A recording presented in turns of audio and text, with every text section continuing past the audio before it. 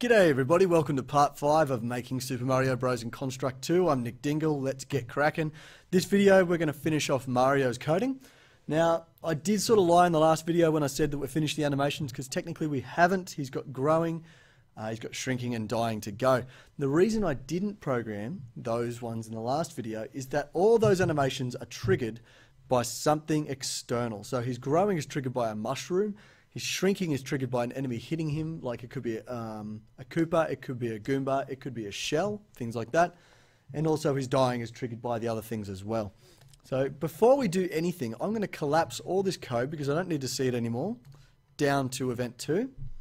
And I'm also going to create a brand new group because we're done with animations and we need one called Mario's functions. So functions that are triggered by other objects in our game. So pretty much functions, so you'll see this little function object we added a number of videos ago, that's pretty much what they're used for. So we set up a, if we don't know when things are going to happen, you set up a little function with code that you're going to call on multiple times in your game, and then you can call it from any other event sheet in your game. So for the moment, to set up a function, we're going to set up one for him to grow. So I want you to click S while you've got event 22 selected. I guess you can call that. It's a group though. So I'm going to press S. Okay, I'm going to go to function. And the one we want is on function. So triggered when a function is called. I'm going to call this one grow. All right, and that's when Mario is going to grow for us. Okay, so at this point here, in anywhere in any of our event sheets, if Mario hits a mushroom, we're going to call the function grow, and that's going to set him up that way. Now, the next step is to add some of our actions. You've got to think about when he grows, what changes about Mario. Well, the biggest thing that changes, if I just click on Mario's objects to explain it at the moment, is that his is big instance variable becomes true. And that's it. So what I'm going to do is I'm just going to add an action, Mario, set the boolean is big to true. So when he grows, set him to big. With that done, I want to test this code. Now by default, if I press play, he should be small because is big is set to false at start. I can run around all I want and nothing happens. Now, the reason being is because we're not actually calling on this event grow. So what I'm going to do is just for debugging purposes to make sure it works in event sheet 1, at the start of the layout, I'm going to wait a couple of seconds and then I'm going to trigger the grow function. So follow me. We're going to go system, start of layout. The action is wait two seconds and then function, call function. So this is us calling the code that we just wrote, grow. All right, please pause the video and catch up because I'm going to hit play and make sure this works. One, two, big. And there you go. So all the code for the big Mario is now going to take over. So that's done. I want to come back here and we're going to fiddle with this because he's not growing. He's just going straight to big. We want him to go through the whole growing animation. So this is actually going to be the last action that we perform. But for the moment, we're going to set it so he goes to his growing animation and whilst he's growing, he can't move around and he can't animate. So there's three things that we have to do there. So let's go Mario and quickly set his animation to grow. If you can spell. Okay. So set his animation to grow, that's going to start playing, but if they start moving around, that's going to break his animation. So we're going to bring in this is active variable. We're going to set that guy to false.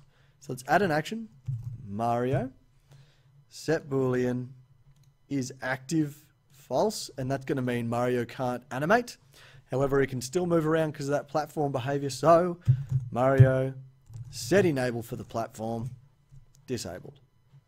And as I said, that's going to be the last action, so I'm going to drag him down and save. So play the animation, stop the animating, stop him moving around, and set his big to true. Let's give it a go. Count two seconds, and there's his grow animation. Now I can't move though.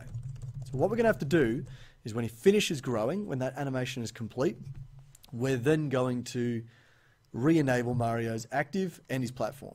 So we're going to add that code just up here because it's to do with an animation again. So click on event 1, add a sub event, so press S, and we're going to find out if Mario's growing animation is finished. So Mario on finished grow. Once that's done, we need to set active to true and set the platform to enabled. So I'm going to copy those two actions, Control C, click up here, Control V. And I'm just going to quickly edit these to true, enabled. Okay. So those two are done. Let's just make sure they work.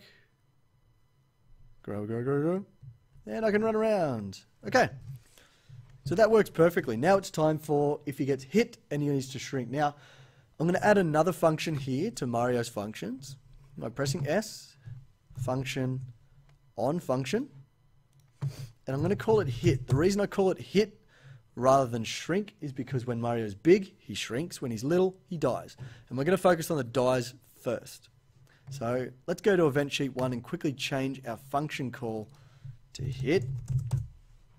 And let's start adding some code. So when he's hit, let's just assume he's small and he's dying. We're going to set his animation to dead, disable all his movement and animations. We're going to then wait a little bit and restart the level.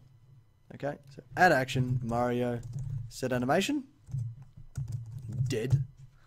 Now we need to disable his animations and his platform, so I'm copying those two bad boys. Again, we're going to wait a little bit, whoop, system wait for a half a second, and then we're going to restart the level. And you'll find that under system. Restart layout. Okay? So let's try that out. This is going to wait two seconds and hit him, which will should kill him basically.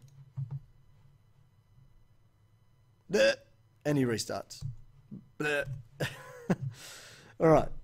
So the only thing he's not doing at the moment is doing that little animation he does when he dies. And if anyone's played the original, you know he starts, he does that dying animation, it waits a little bit, he bounces in the air and down through the bottom of the level, and then it restarts. So what I'm going to do is I'm going to add an action, and we're going to do a little bit of code in between here. All right. So the first thing I'm going to do is wait for 0.8 seconds. So once we set the animation to dead, it's going to pause a little bit. We're then going to activate that sine behavior that Mario has that we haven't even touched for a long, long time. So sine set active to active, and that's going to go there. So all of a sudden he's going to start animating. I want it to then play out the animation, so we have to wait for two seconds for that animation to finish. I'm sorry if that looks so weird. We're then going to deactivate the sine behavior. So because if we don't deactivate it, Mario is going to come back up. All right. And that goes there. All right, so that looks a bit awkward, but if you read it through, we set the animation to dead, stop him moving and animating, wait a little bit, add the death animation, so he jumps up and then down through the bottom of the level. By the, I think it's in two seconds, he goes down past the bottom of the screen, and that's when we disable the sine behavior so he doesn't pop back up into the screen. And then we wait a half a second to restart the level. Because the half a second, I think, will be enough time for the music to play. So let's run the layout, wait for him to die, and then hopefully, and there you go. So that's his death. So the only thing really left is so when he's a big Mario and he gets hit, he gets shrunk down to small. So we have to play the animation and take him back to a small Mario. What we're going to do there is we're actually going to add a sub event to the hit function. So I want you to click on 25. I want you to click the S key on the keyboard and we're going to check if Mario is big. So Mario, boolean variable set is big. So all the code here is going to have to do with if Mario is big and he's getting shrunk down. So it's pretty much similar to the grow, but obviously flipped. So what I'm going to do is I'm going to copy these four lines because I want to set it to shrink, but I still want to disable him and not animate him. So I want you to control C to copy, come down, click on is big, and control V to paste it. And the couple of things that we have to edit for it is we need to change this to shrink. So double click, go shrink, disable his animations, disable his platform behavior, and set is big to false because he's going back to small. All right. And the second thing we have to do is not only add the shrink animation finished up here, but we have to change this bit here. But let's do the on shrink animation finished. So click on Mario animations up here, group, click S, and wait, apparently. Go to Mario, on finished. What animation? It's shrink. We're pretty much just going to copy these two bad boys here. Okay, copy, paste. Alright, that's just re-enabling it. Okay, if we come back down the bottom, we need to fix this bit up because right now we're saying when he's hit, kill him. And if he's big, make him small. Doesn't make sense because both of them will happen if he's a big Mario. But we only want this one down here, 27, to happen when he's big Mario. So what I'm going to do is I'm going to use the else again. So if Mario is big, right click on there, add an else, or press the X key if you prefer. Now all these actions for him dying are going to go next to the else. So what I'm going to do is click on the first one.